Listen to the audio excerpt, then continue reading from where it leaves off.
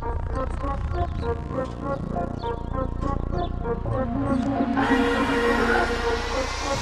you.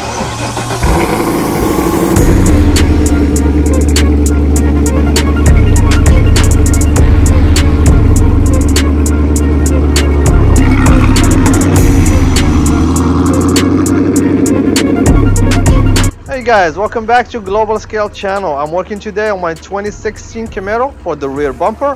I received a crack on the shipment. I'm gonna try to fix it in this video. I'm gonna show you every single step how I took it from here all the way to here. So stay tuned, watch the video all the way to the end so you don't miss any parts.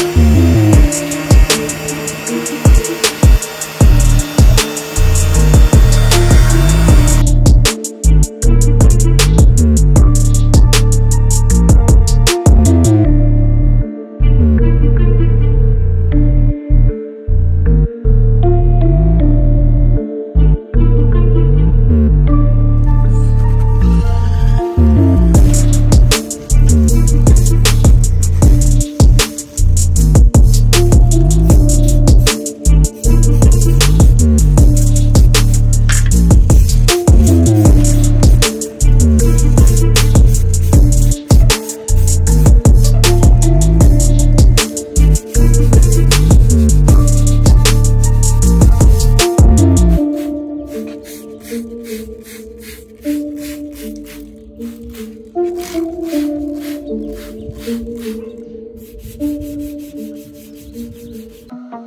you get to this point, your bumper is ready for paint. I'm super happy of the result. Everything came out super super nice. You can't even tell that the crack was there. And the best part, you don't have even to take off the bumper. So thank you again for watching. Don't forget to give us a thumbs up and subscribe to the channel to receive notifications anytime we upload a new video.